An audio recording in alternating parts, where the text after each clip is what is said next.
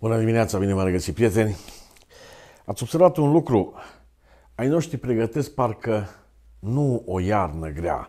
Uh, politici publice privind energia, politici publice privind, uite, chiar protecția celor vulnerabili.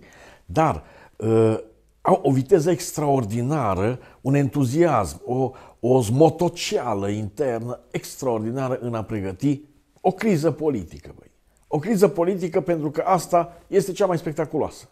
M-am gândit la un moment dat, bă, hai să fiu în locul ăstora, Florin Roma, Rareș Bogdan, Ciolacu, Daia, Câciu, ce mai au pe acolo. Păi, criza energetică e enervantă. Sigur că da, te pune să gândești, găsești soluții, nu găsești soluții. Gazul nu arde numai că discuți despre el sau stai la televizor, da? Uh, criza alimentară. Criza alimentară poți să te dai peste cap. Când crește prețul uleiului, de floarea soarelui, crește, tată. Degeaba vii să spui că e ieftin dacă lumea vede că e scump în magazine. Da?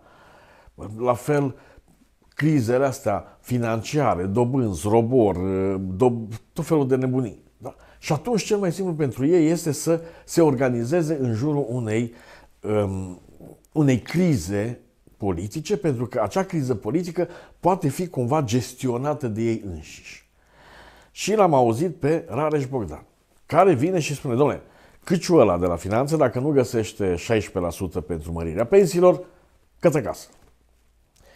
Înainte cu o săptămână, veniseră psd să spună mărim pensiile cu 10%. Au sărit liberalii. Băi, de unde bani? Mie să-mi arăți. Ok? Adică, dintr-o dată, parcă e un campionat al pomenilor, parcă e un campionat de ăsta, parcă avem doi popi în față sau doi, nu știu, două babe de alea care oblojesc și vin fiecare să-ți spună oasele la loc, ba, eu mai bun, ba, uite ce predic am eu, dar fii atent ce barbă am eu, dar am burtă mai mare. Exact asta fac partidele. M-am gândit, bă, de unde până unde să-i ducă căpățânile spre criza politică. Totuși, te uiți în jur. Mă, numai noi și bulgarii, pur și simplu noi și bulgarii, ăia mai besericoși, da, din Europa, noi și ăștia suntem, probabil, habar n-am, ăștia avem tentația asta de a ne da cu capul de pereți demonstrativ, așa în fața națiunii. Ă, nu se mai înțeleg pe ă, prețul energiei, pe politicile publice, Uh, pe socialismele alea care acum ies în sfârșit și și-o dat seama și liberalii că hopa avem o problemă, dar și pe liberalismele alea, între ghilimele, care ies acum și care nu pot fi foarte contundente, că fiecare dintre ăștia au păcat, fiecare are păcate și el le cunoaște. De ce se întâmplă asta? De ce vom merge către o criză politică? Păi, în primul rând, hai să mergem la cauză. Politicianul român nu este obișnuit să gândească pe termen lung. El n-a gândit pe termen lung niciodată vreo, vreo politică publică. Nu și-a gândit pe termen lung nici măcar propria carieră. Și atunci cum să-i ceri să gândească pe termen lung? Domnule, hai măcar pe ăștia să trecem de 5, de 10 ani, hai să vedem ce face Uniunea Europeană că suntem parte din ea, hai să vedem cum ne ramforsăm, că avem un război la granițele vecinilor noștri. Nu. Politicianul român vrea acum, exact ca în prima, la, ca la baza piramidei lui Maslow, pipi ca papa. Pipi ca papa. U, știi, așa ne explica un domn profesor baza piramidei lui Maslow. Băi, unde te trece, acolo îți dai drumul. Da, exact ca vaca vrea să se balege pe mijlocul drumului, exact acolo, pe linia continuă, își dă drumul. Bun? Asta face politicianul român, care nu e în stare să își oprească umorile. Și dacă observi, ă, sunt tot felul de deștea trimiși în față, înaintași, săgetuțe.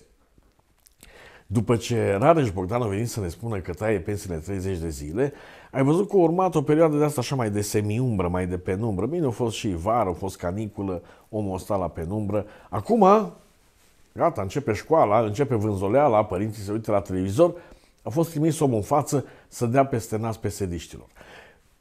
E adevărat, stai liniștit, înainte pesediștii își trimiseseră în față o grămadă de nevolnici, intelectual vorbind, Uite, Daia, da? care, deși toată lumea a văzut că este un fake mâncatul ăla de greier sau de friptura de lăcuste sau tocana de viermișor de așa, el vine și totuși insistă. De ce? Pentru că el știe, băi, la aia de la 65 de ani încolo, la majoritatea, o să prindă.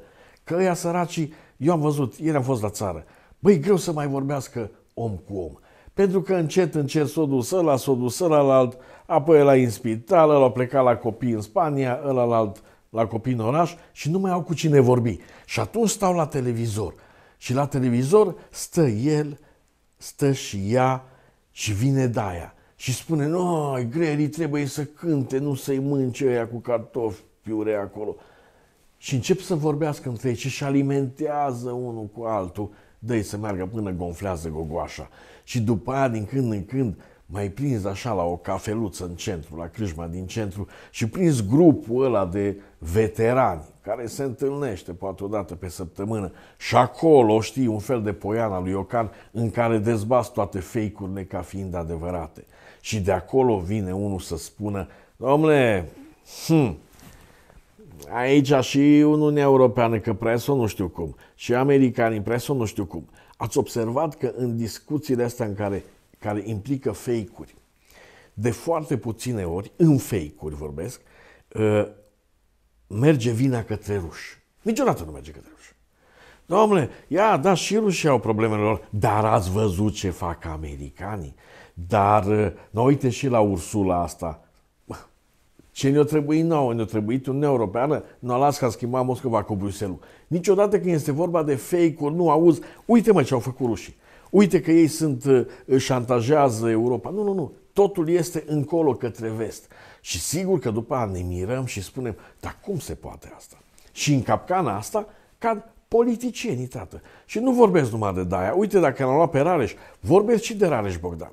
Adică uh, atunci când ANR-ul și-a schimbat punctul de vedere, e adevărat, în aceeași seară, vis-a-vis de, de semnătura pe ordonanța de urgență, vine Bogdan să ne spună, băi, au plecat acolo și au luat la rost șefii din companiile străine. Wow! Toți străiniți de vină, de la Nistru până la Tisa, tot românul Prânsul, etc., etc., acea, această odă acum a xenofobiei românești, scrisă într-o epocă de Mihai Eminescu, dar așa cum era ea, și Doamne ferește, fac o paranteză, să citiți scrierile politice ale lui Mihai Eminescu, este o ediție scurtă, 1905, am citit-o la, la partea specială a bibliotecii sau cum se numea secția specială, este îngrozitoare. Da? Dar, zicem, era epoca era așa și ne prefacem că n-am auzit. Dar este un antisemitism și de un xenofobism îngrozitoare, amândouă. Bun, am închis paranteza. În rest, rămâne poetul nostru genial și, într-adevăr, cel mai mare, dacă vrei, operator de limbă română, cum s-ar numi astăzi, și primul care a pus la loc oasele limbii române. Mihai Minescu. Dar ca gazetar, ca jurnalist, lăsați-l la o parte, este îngrozitor. Bun, sună urât. Și vine ăsta, Rareș Bogdan, domnule, străinii de vină, o dat ordine la ăștia să cere schimbarea ANR-ului. Acum cer schimbarea ANR-ului. Când toată lumea ți-a arătat cu degetul, uite bă, ăla de la ANR, de fapt este unul care schimba prize într-o fabrică. N-are o calificare privind viziunea. Are o calificare că ăla sigur nu se curentează la priză, că știe unde e nulul, unde e faza. Atât și după a ajuns în sindicat și de acolo deputat PSD și l-a pus deputat, l-a pus tovarășii de la PSD hăpt în fruntea ANR-ului. Și n-ați urlat atunci voi liberalii. Da? Acum urlați pentru că străințe să fie de vină. Doar că în timp ce uh, se coace criza asta politică, așa, dansul ăsta, știi, e un fel de cea-cea-cea. Ai văzut cum dansează ea la cea-cea-cea? Eu prin filme am văzut. Așa, se, se pun unul înaintea ăluilalt, dar se apleacă un pic și fac tot felul așa din, ba din cur, ba din picioare, ba din, ba din mâini, ceva în genul ăsta, un cea-cea-cea de ăsta văd uh, făcut acum de uh, PSD și de PNL. Bun. Uh, în timp ce el vorbește despre numirile politice și mai departe, ia ca mândra asta, doamna asta de la Onorica o cheamă, de la Maramureș, care pur și simplu, da, pusă inspector, da, vine și spune, nu minister și ăsta. Mulțumesc Partidului Social Democrat că a avut încredere în mine și că m-a pus inspector acolo la Inspectoratul Județean Maramureș, la educație. Și noi vorbim despre depolitizare, venim um, și PNL-ul, și PSD-ul, și UDMR-ul, și ăștia la guvernare, vin să vorbească de depolitizarea funcțiilor publice. Nu o să fie niciodată, băieți. Nu o să fie pentru că nu sunt în stare, v-am spus, ei nu și-au gândit pe termen lung nici măcar cariera. Și noi cerem să gândească pe termen lung o țară sau o politică publică de aia care ar trebui să meargă pe 10-20 de ani. Ei sunt aia care au citit prefețe, au citit repede pe Google despre și după a vin să ne spună la televizor. Sunt oamenii care pur și simplu nu au fundamentul ăla cultural. Ei sunt gaițele lumii moderne, lumii românești moderne. Cu ăștia mergem în Europa. Știi, mă gândesc câteodată, dacă nu eram în Uniunea Europeană, astăzi ne cocoșau ai noștri, cum nici poate rușii nu sunt stare să ne cocoșească. Știi că rușii vin, fac nemernicii și într-o vreme sau alta pleacă. Dar ăștia rămân aici, că ăștia zic, băi, eu sunt sânge din sângele poporului român. Norocul nostru că am intrat în NATO și în Uniunea Europeană și norocul nostru că am avut încă MCV-ul ăla pe care îl tot urlă ăștia și îl dau de pereți. Că fără ăla ne-ar fi mâncat ai noștri. Pentru că ăștia sunt băieți. Sunt niște oameni necultivați, sunt niște oameni care și-au mâncat rahatul de sub unghii, sunt niște tipi care dintr-o dată din, din obiele și opinci o sărit în pantofi de 1000 de euro și nu știu să se încalțe. O sărit de la brusture la hârtia igienică. Și știi care e baiul cu ei? Că hârtia igienică nu e numai pentru dos, în cazul lor și pentru gură și pentru creier. Să aveți sănătate. Vreau și eu să le spun toate chestiile astea. Prea m-am enervat.